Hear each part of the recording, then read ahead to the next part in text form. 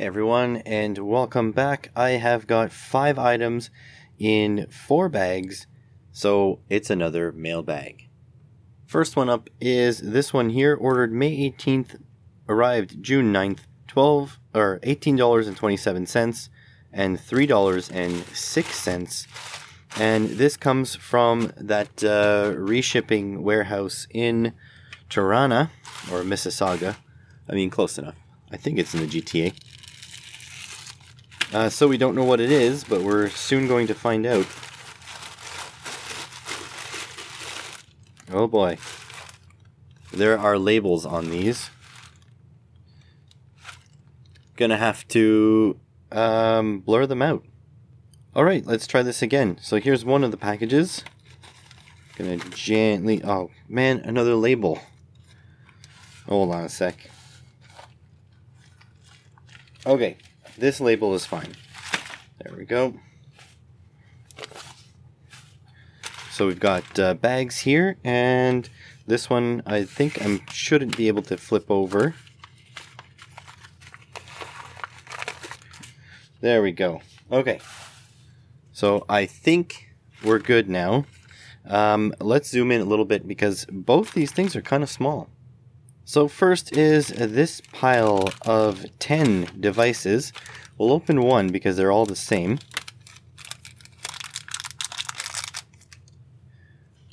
These are PIR or passive infrared sensors. So I've been working with some PIR sensors recently for a project and the big thing was I didn't have a bunch that were the same. Um, these here are all the same. I've got 10 of them now.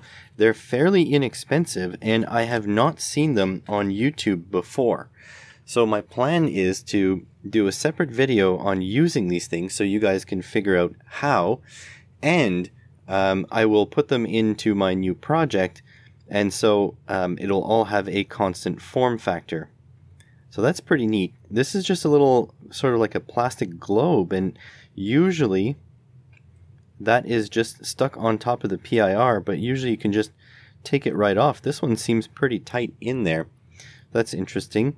All the circuitry is already on the back, and I can see the out is here, and you see the S plus and S minus. So I'm going to be really curious to have a go at these things and um, yeah, see if I can make them work in my projects and help you guys make them work in yours.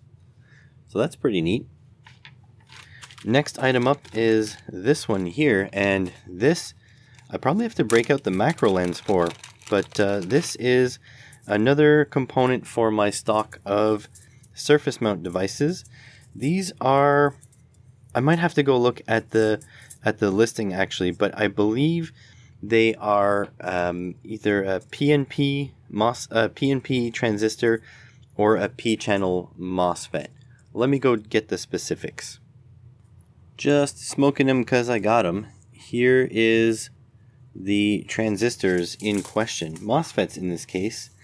This is the AO3401. This is a P-channel MOSFET. And I bought these because I have the AO3400s, which is the equivalent N-channel MOSFET. Let me peel one out of the uh, reel here. Doesn't really matter if I peel one out because um, these are not going to stay in the reel. I have uh, surface mount uh, storage solutions. There we go. So there's the little guy there. Uh, this little thing and it is tiny. That's the end of the X-Acto there. Um, this little thing is capable of roughly 3.2 amps. So that's why I got them because they're tiny. This was three bucks for a hundred of them, and um, I am building a set of you know jelly bean parts. This one is part of that, and um, basically, eventually, when I gather up all the data of the jelly bean parts I need or you know I should have, I'm going to actually publish a list for all newcomers to choose from. So just standard parts to have around. Um, three cents a pop is pretty cheap, pretty good for prototyping. And so if you don't have any, check the link in the description to get yourself some. And while we're all dressed up with nowhere to go, I might as well show you the backside of these PIR sensors. I think that looks like a 3.3 volt regulator right there. Can't be sure. Uh, the rest are all passives. Got a couple caps, got a couple of resistors. And maybe we can take a look at the front side. Signal plus, signal minus, or supply plus, supply minus, I'm not sure. And out, oh look, it's marked. Positive in the middle, negative on the right side there, and out on the left side. And this little cap that I was trying to remove earlier. I don't know if it'll come off. Oh, it seems to be sliding. There we go. And that's what the PIR looks like. Well, this one is absolutely filthy. So it might be a good idea to pull off the caps and clean them off. And in case you were wondering, there it goes inside my storage device with the rest of my SOT23 devices. Next one up is this one here. It's an XT60 connectors, so I guess there's not really much mystery of what's in there. Uh, $7.91, uh, May 10th to June 3rd. And of course, all these prices might seem a little bit higher than what you can get on AliExpress, but that includes shipping. So here we go. Um, if you don't know anything about the remote control car hobby, then you probably don't know what these connectors are. Uh, what they are is they are a fantastic way to move a lot of current on a polarized plug. So you've got uh, this section here with some recessed. You know what? Let me zoom you in. Just yell at your screen when I'm going on and on and you can't see. All right. So uh, what these are, they are a polarized plug. So they only plug in one way. And basically what they are is um, about a four or so millimeter banana plug, really. That's what they are in essence. Uh, this one here goes on the battery side typically. So you'll have something like a lithium polymer battery at the other end of this, capable of delivering a lot of current. And you've got here these sort of like the female ends and on this side would be your device side. This would be the male ends. And they go together quite well. Um, they you know they they arc internally sometimes but they're quite well protected. Um, they go together fairly well. They're easy to solder. You solder your wires onto these um, these little buckets here. And then you use heat shrink uh, that'll shrink hard enough to go into these uh, little holes this is partially what I ordered the heat shrink, my um, 3 to 1 heat shrink with glue for. This is a little bit of a casting imperfection. Look at that. That's all, that's plastic. Yeah, well anyways, these are not genuine XT60, they're XT60 style connectors, so I don't expect them to, to get the full current draw of an XT60, but um, I've got 20 pairs here, I believe, two, four, six, eight, ten. Yeah, I've got uh, 10 pairs, so 20 connectors uh, for fairly low price, $8. I mean, pre pandemic, it would have been cheaper, but um, you know, it just is what it is. And I can trim off the little excess stuff. Not that big of a deal. If you guys want a little tutorial on how to solder these together, let me know in the comments below, but other than that, it is pretty straightforward. I use these pretty much anywhere where I need a reliable connection uh, capable of moving a lot of current and um, yeah, with two conductors. So that's kind of that. I need to restock because I was running quite low. Only um, three of the sort of battery ends and one of the device ends. So yeah, it was time to restock and now I've got some. Next one up, I found this one interesting. Uh, I found a listing for insurance on AliExpress. So I'm not sure if it's uh, medical or life insurance just yet. But yeah, two quantity insurance. And insurance from China is extremely cheap. $11.44 ordered on May 10th come, came on June 2nd. So if you're in a rush for a medical procedure, probably not a good idea to um, order this from China. But uh, I mean, if uh, if you're not in a hurry, like if you're a healthy person just waiting for your insurance kick in, not a bad idea.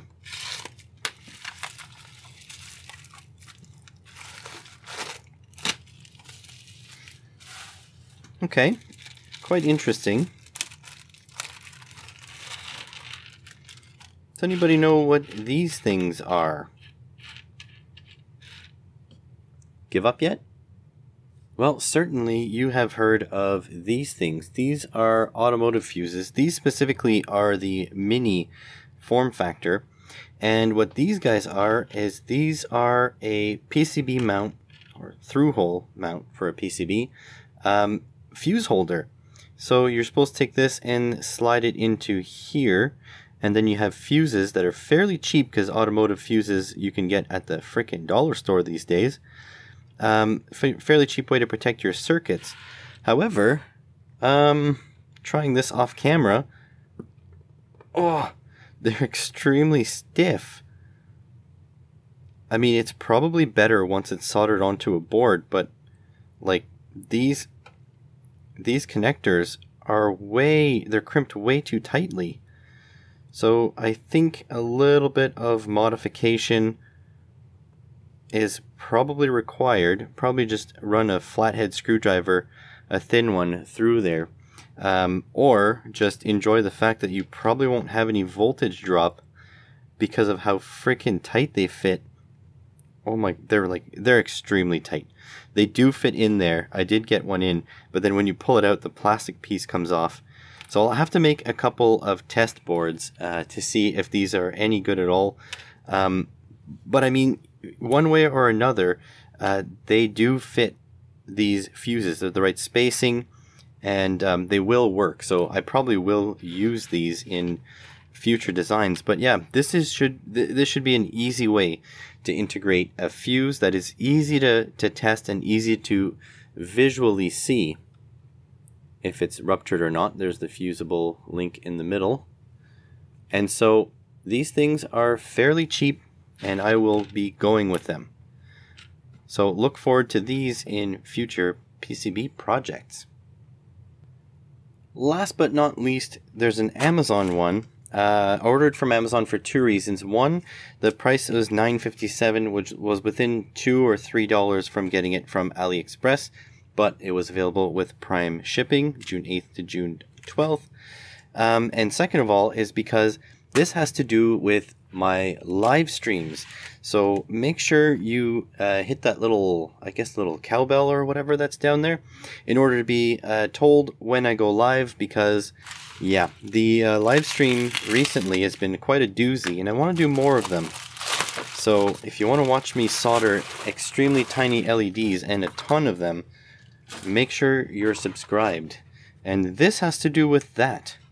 So whoever of you saw that live stream knew that I was struggling with the fact that my um, my LEDs were being picked up by the magnetism in my tweezers. And so I finally I went out and I got ceramic tweezers. So this should not be a problem anymore. Um, some people in the chat were saying that the um, the, the tweezers the ceramic tweezers would get filled up with flux and stick anyways. But I mean, I have alcohol, um, and, and I, I mean rubbing alcohol, not alcohol, alcohol. Okay, YouTube um, um, monetization police. But um, yeah, I have rubbing alcohol to deal with that, so I'm not too worried. And they, these actually, they feel really nice. And I can see that the tips close a little bit crooked see the close a little bit crooked, but I might be able to sort of bend the stainless part of these in order to fix that.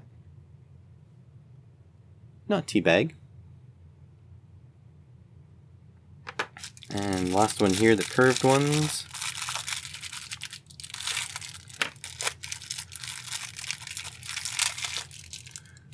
And there we go. They feel like nice and heavy. Um, let's just make sure they're non-magnetic. I got my nice uh, visual aid here.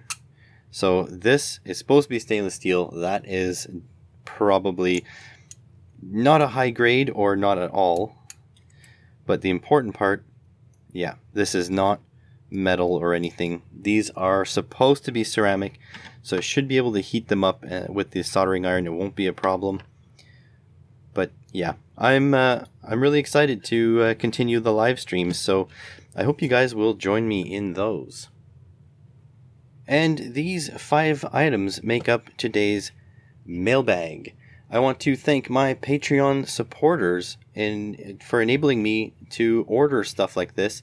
Even though sometimes it's been coming in slowly, uh, I still do get to order stuff because of their support.